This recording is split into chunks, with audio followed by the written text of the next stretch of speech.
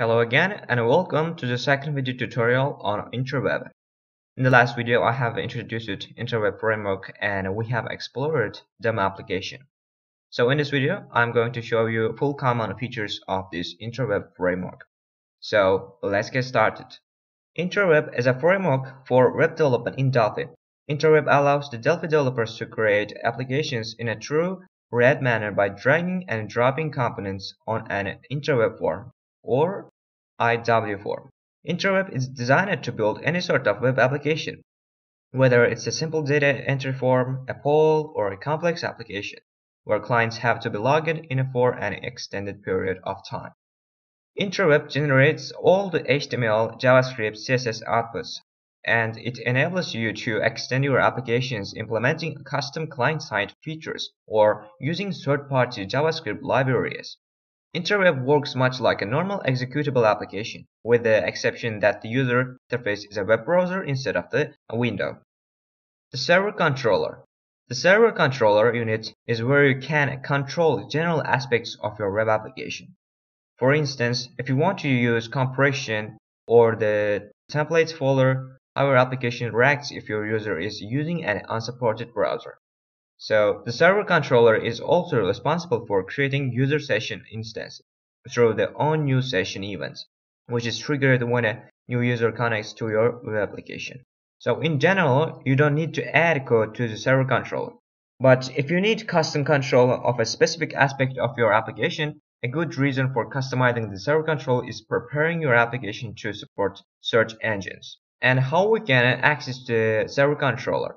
The easiest way to access the server controller is by using a function available in the server controller unit. You need to include the unit server controller in the users class of the unit you want to access the server controller instance. The session. From IntraWeb version 14, user session also contains web application property. You must check this property for nil value before using it. IntraWeb web application types. When we talk about the IntraWeb application types, we are basically talking about deployments. For example, how you can install your IntraWeb application to be available to your users. Otherwise, all the IntraWeb application types are the same. Currently, IntraWeb has few types of the applications. For example, standalone server type, ISAPI type, and SA server. The SA server is a web application that includes an embedded web server, the IntraWeb core code, and your code. The main goal of the SA server is to allow the developers easily deploy the application without all the issues of installing and configuring a web server like IIS or Apache. As the SA server includes its own web server, it is an Indy-based web server. When you execute the SA server, you see a small UI, which can be used by the developer for debugging or testing purposes. Standalone server is good for your debugging and developing the application. The ISAPI type is a DLL format designed to be executed on Windows-based web servers like IIS and Apache. The IntraWeb ISAPI DLL is a web application that includes ISAPI supporting code, the IntraWeb core code, and your code. For an ISAPI DLL, you need to set up IIS or Apache to host your application. The main advantage of the ISAPI deployment is that you don't need to worry about which port your application will be listening to. As you are running under IIS, all the connections are made on port 18, and IIS can host multiple ISAPI DLLs.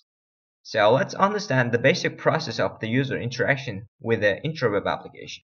Your IntraWeb application is running on your server. It can be ISAPI DLL or a SA server.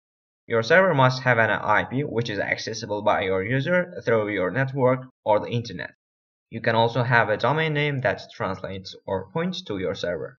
The user types uh, the IP address or port of your web application on the browser or simply the URL of your website. The IntraWeb application receives the request, processes it, renders the IntraWeb form, and sends it back to browser. That tells the browser how to render your IntraWeb form. The browser receives the data package, decodes it, and renders the IntraWeb form to the user. Then uh, the user interacts with the page just rendered for him and clicks on a button or other controls.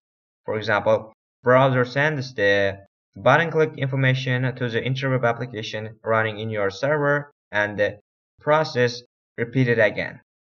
So it's time to demo. So now we can start by creating a new project. I select Delphi projects and IntraWeb. This is IntraWeb application wizard. And we can select OK. We can name this project demo IB guessing game. Now I'm going to make a guessing game on the IntraWeb web framework. So I select this as standalone application type. So click the OK button and we have to confirm it. Yes, this is the main program. This is the user session and this is our UI. On the IntraWeb, we can only drag and drop our IntraWeb components. It's IntraWeb standard, IntraWeb control, IntraWeb data, and IntraWeb authentication. So I select this IntraWeb standard and uh, one button, another button, and edit IW memo this one and IW label. So now we can design this application. So guess the number. And we can expand this font bigger size and edit here. Delete that text button 1 and the memo. This. So we can rename it to check. And start a new game. Okay. Now we can select this IntraWeb form. And uh, we have to create onCreate event and uh, we have to enable randomizing and I'm going to declare two variables. Global variables it's x and y. Integer. I equals 0 it's the initialization part. And x equals random range it's 100 okay. Now we can create on click event and I copy and paste the code here. Y equals IntraWeb edit text str to int and this one and found it message. And we can create on a new unclick event on a start a new game button this one. I'm paste code. And again it's generating random number and web application show message. The new game is started and we have to clear the memo. So this design button and now we can save and run this application.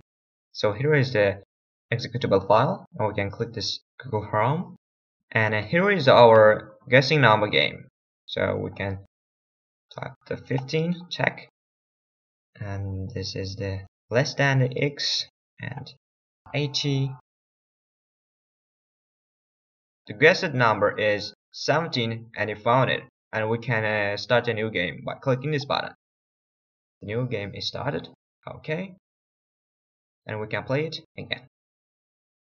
So that's it. In the next video tutorial we will learn UniGUI web framework in Delphi